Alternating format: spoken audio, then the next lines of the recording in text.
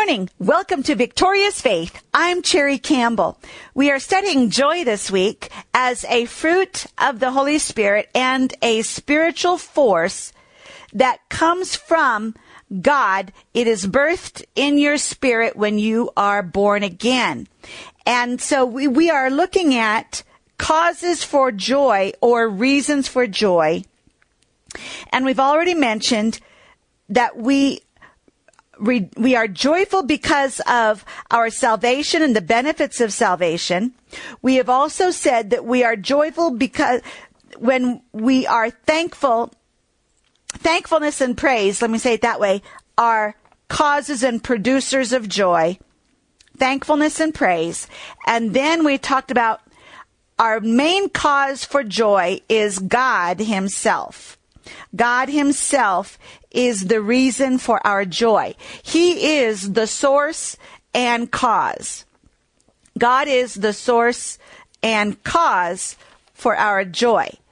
And yesterday and the day before, we named one of the names of God is found in Psalm 43 4. Psalm 43 4. And it says, Then will I go to the altar of God to God my joy and my delight.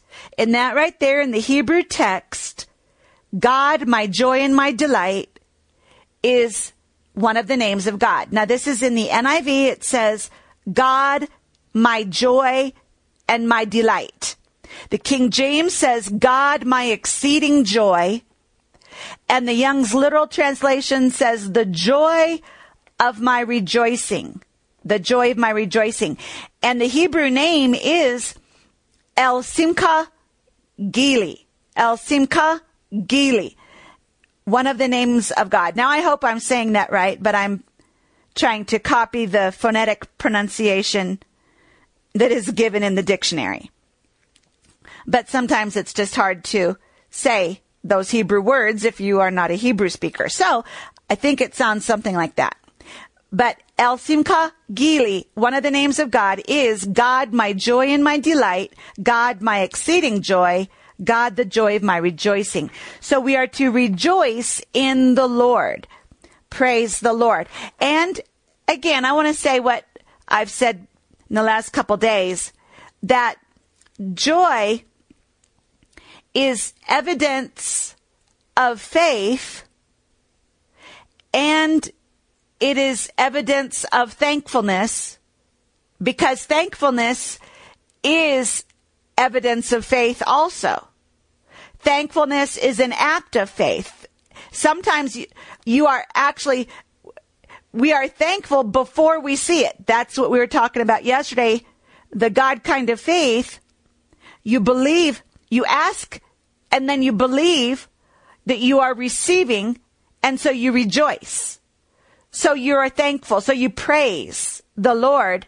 You praise God for what you are believing for before you see it. So joy and thankfulness are evidence that you are in faith and that you are believing God. Sadness is evidence that you are in unbelief, that you don't believe the promises of God. And sadness is then also evidence that you are unthankful.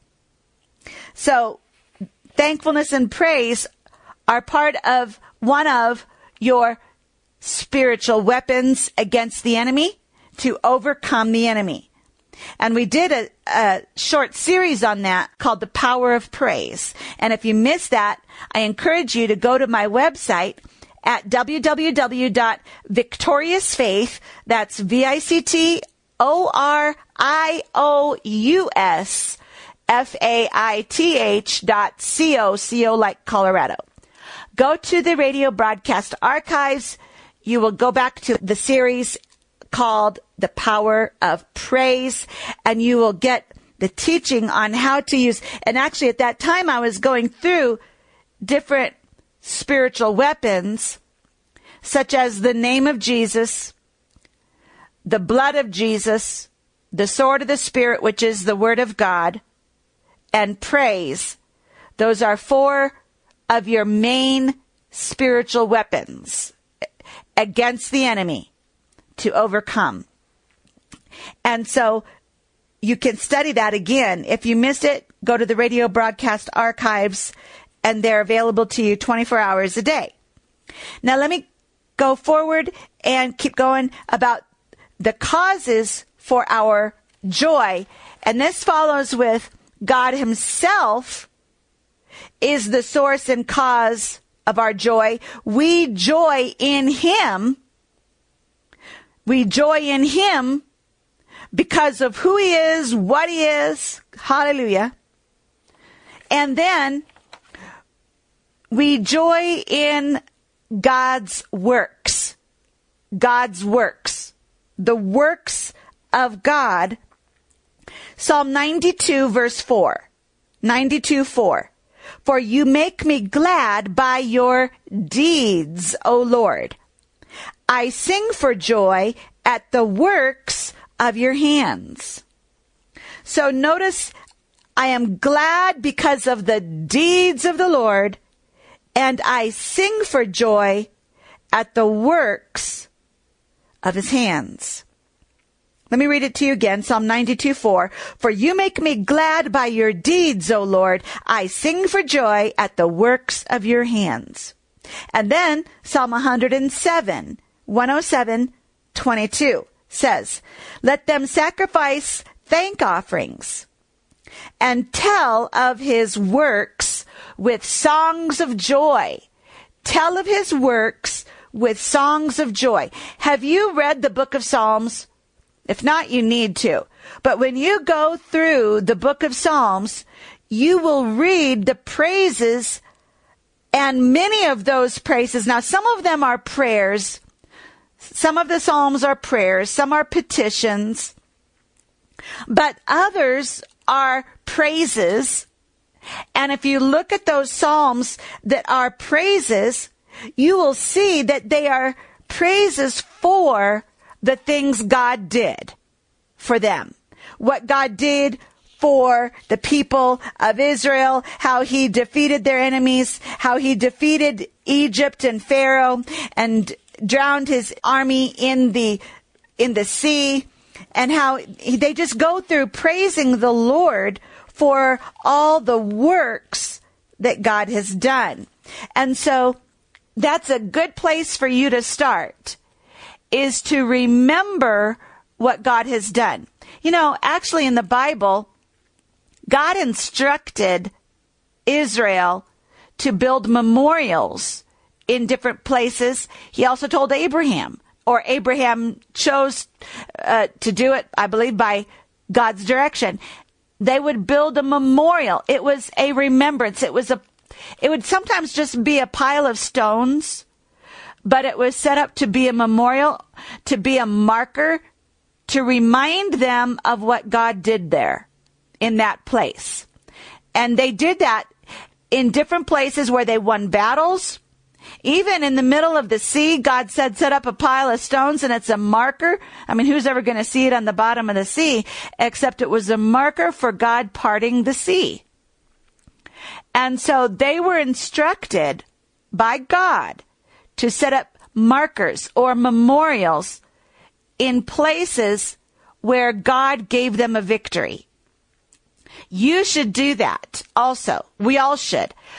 We need to keep a list even that marks the victories that God has given to us so that we can remember what God has done. And then look at that list again and again in the future as you go through life and remember the things God has already done. To build your faith to remind you of God's faithfulness so that you can believe God in the situation you're in at the moment. So to remember what God has done in your life, remember how he saved you at this point, out of this situation, out of that situation, how he came through for you at this point or at that point, how he provided your finances, how he healed your body, how he restored relationships, maybe with your spouse or your children or grandchildren and to mark in your life. I encourage you even today, if this could be a little homework assignment for you, to take out a piece of paper and a pen and write down, and I know most people use computers and tablets and iPhones. Maybe that would work for you too. Make a note on your iPhone if you use your iPhone for making notes. But make a list of recalling times and places and incidents in your life in the past where God came through for you. Make a list. Make it a memorial list, a list of remembrance of what God has done for you. And then rejoice in Him again for those things that He did. And then rejoice for what He is doing now in faith, believing God is working and doing the same thing for you again today and tomorrow and your future, just as He has done it in the past. Amen. So I encourage you to do that. Take 10 or 15 minutes. If you can take it on your lunch break or when you get home from work or if you work at home, if you have a, a 15 or 20 minutes, I think even 15 minutes would be sufficient to write down a list of things God has done to remind you of all the times God has come through for you. And keep it as a remembrance for yourself forever. And use it to share as a testimony with other people. Share it with your children. Remember, God told Israel to tell their children. Tell your children about how God defeated the Egyptians, how God sent the plagues in Egypt, and then how God brought the people of Israel across the Dead Sea, uh, uh, the Red Sea, I mean, excuse me, the Red Sea on dry ground. And how God defeated the Egyptian army in the Red Sea. Tell your children about what God did for you months ago, last year, two years ago, five years ago, ten years ago, and use it to tell other people and give testimonies of what God has done. Testimonies are supernatural. As a matter of fact, in the book of Revelation, it says that the spirit of prophecy is the testimony of Jesus. So giving testimony of Jesus, and that is testifying to what he has done for you, is the spirit of prophecy. Especially when you get in the, when the anointing comes on you and you start testifying under anointing, that is powerful. And that is what is called the spirit of prophecy. That is in the book of Revelation. The spirit of prophecy is the testimony of Jesus. So you start testifying to what Jesus has done for you. It will build your faith it will build your joy. It will encourage you. It will strengthen you. Hallelujah. And it will build your faith to believe God today for the things you are believing God for today. So again, Psalm 107:22, let them sacrifice thank offerings and tell of his works with songs of joy. Praise God and Psalm 92 4, you make me glad by your deeds, O Lord. I sing for joy at the works of your hands. Rejoice in the Lord today because of the works that he has done. So, first it was God himself, who he is, that you rejoice in God. He is your joy. And then you rejoice in his works and what he has done for you. And then let's go on to the next one you rejoice in God's word. In God's word. Psalm 19 verse 8, Psalm 19, 8 says, the precepts of the Lord are right, giving joy to the heart. The precepts of the Lord. That is the word of God. The precepts of the Lord, or you could say the word of God, are right, giving joy to the heart. If you need joy, you need to go to God's Word. God's Word gives joy to the heart, particularly the promises of God, of His provision and deliverance to you, His promises to you, His faithfulness to you. Hallelujah. So the precepts of the Lord are right, giving joy to the heart. God's word will give joy to your heart. If you need more joy, you need more word. If you need more joy, you need more word. And then Psalm 119 verse 111. Now, something interesting about Psalm 119 is that almost every single verse, I think every verse except one actually that I have found or recognized, talks about God's word. It either calls it his laws or his statutes or his precepts or his commands or his decrees, but in every verse, it, there is reference to God's word and it will say it in different terms God's decrees, God's commands, God's precepts, His promises, His statutes. But you will see that mentioned in every verse. And I think every verse except one, which actually gave praise to His name. But in Psalm 119, verse 111, 111, it says, Your statutes are my heritage forever. They are the joy of my heart. Your statutes are my heritage. They are the joy of my heart. So Psalm 19:8, the precepts of the Lord are right, giving joy to the heart. And then Psalm 119, 111, your statutes are my heritage forever. They are the joy of my heart. God's word will be the joy of your heart. It will stir up joy. It will produce joy. It will feed joy. It will water joy. So if you need more joy, study God's word. Read God's word. Glory. Hallelujah. And then let me name one more cause for joy. And actually we did already talk about it, and that is faith and hope. Faith and hope. Now, actually, faith and hope are not the same. Faith produces hope. Faith is believing God.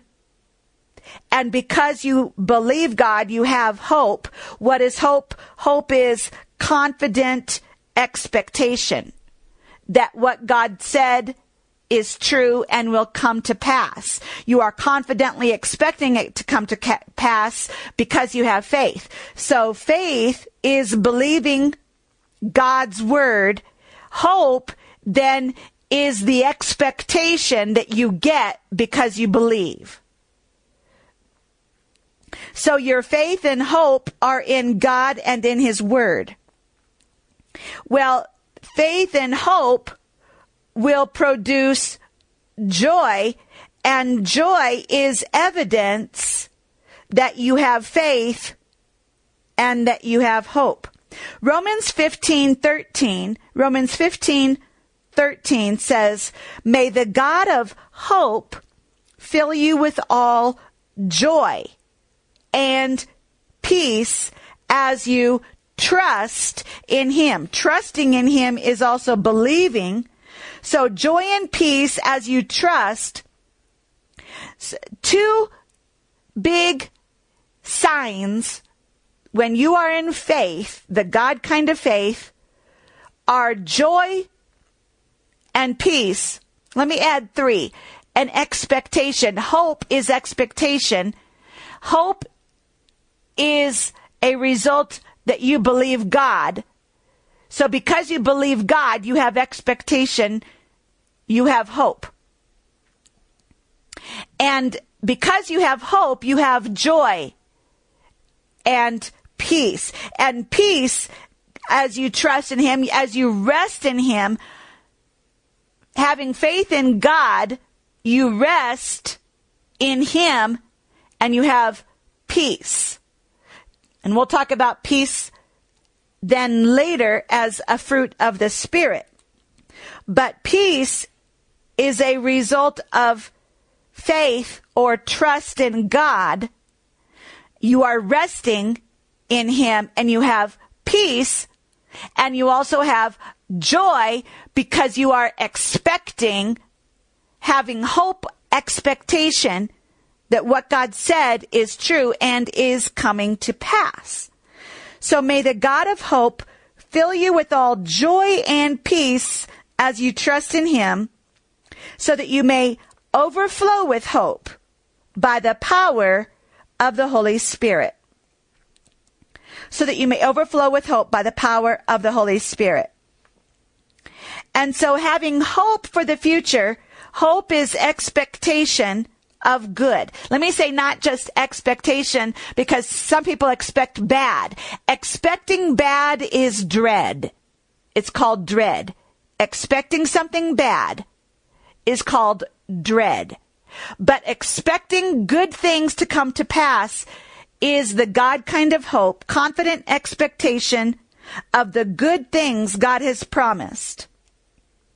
So having hope for the future, as you think of God's promises coming to pass in your life, will bring joy to your heart. And God does have promises for good things in your future. Jeremiah 29:11 Jeremiah 29:11 says, "For I know the thoughts or the plans I have for you," says the Lord, plans to give you hope and a future.